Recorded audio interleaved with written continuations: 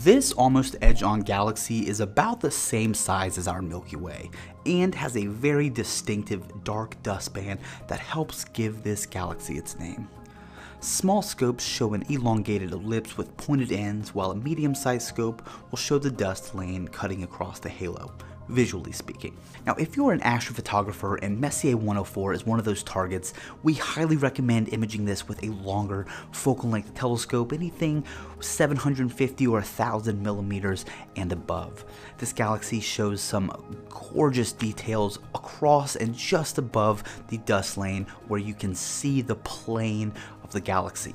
For those in the northern hemisphere, it does rise relatively low, but if you have nice seeing conditions, Messier 104 is a premium galaxy for astrophotographers.